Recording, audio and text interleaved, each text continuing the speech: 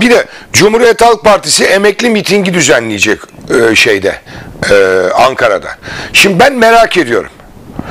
Türkiye'nin dört bir yanından emeklileri Ankara'ya çağırmak mantığa uygun mu? Diyorsunuz ki emeklilerin ekmek alacak paraları yok. Ev kiralarını ödeyemiyorlar. Sonra hadi gelin Ankara'da miting yapacağız. Şimdi İzmir'den İstanbul'dan böyle otobüslerle e, emekliler gidecekmiş. Oysa daha halkçı bir yöntem var. Özgür Özel Ankara'da milletvekilleri, il başkanları falan İzmir'de, İstanbul'da yani Türkiye'nin bütün vilayetlerinde aynı anda eş zamanlı emekli mitingi yapsalardı tarihe geçmez miydi? Derlerdi ki bak emeklilerin biz ayağına gidiyoruz. Onlar bizim ayağımıza gelmiyor. Yani Ankara'da e, emekli mitingi yapmak bana doğru gelmiyor.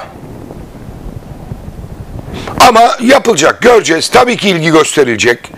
Ee, yani, yani Özgür Özel bir daha gittiğinde reisi cumhura söylesin yani düzeltin bu işleri falan desin yani istiyorsa.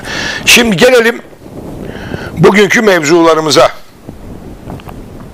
Şimdi ben onlara kısaca İzmir'in halleri diyorum. İzmir'in halleri pek normal değil. Ee, bir türlü kurtulamıyoruz şu 31 Mart olayından. Yani artık kurtulmamız lazım. Bakın e, ben Bayraklı'da oturuyorum. Yani Bayraklı'da hiç iyi gitmiyor işler. Yani İrfan Önal'ı seçtik. Hani başımıza iş mi aldık anlamadım gitti. Yani hiç olmayacak yerler leş gibi kokmaya başladı.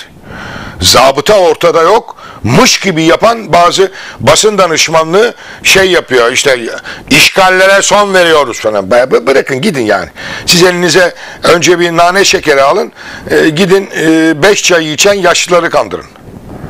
Hani ben belediyelerin artık belediye hep neyi diyorduk? Belediye başkanı seçildiği yerin lideridir. Kendini kaybetmeye, iletişime kapanmaya ve halkla arasına kifayetsiz muhterisleri sokmaya hakkı ve haddi yoktur. Ha yapabilir mi? Yapar. Tarihte böyle belediye başkanları çok. Bir dönem yapmışlar sonra herkes ismini unutmuş. Ve açık söylüyorum size, inanarak söylüyorum.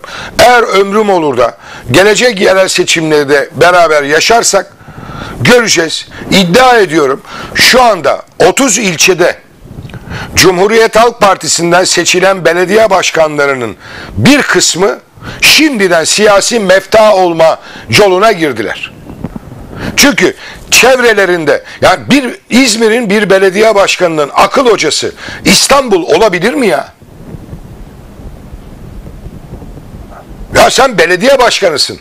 Sanayi Ticaret Bakanı değilsin ki. Ha bunları anlatamıyoruz. Bakın İzmir'in şu anda en sıkıntılı ilçesi maddi olarak, Foça olarak gözüküyorsa da, Karşıyaka olarak gözüküyorsa da bence içerik olarak, konsept olarak en sorunlu ilçesi Konak. Çünkü hanımefendi bir belediye başkanından ziyade bir titaniçe olma yoluna girdi. Titan, erkek titan, titaniçe de eşi oluyor yani. Yani bunu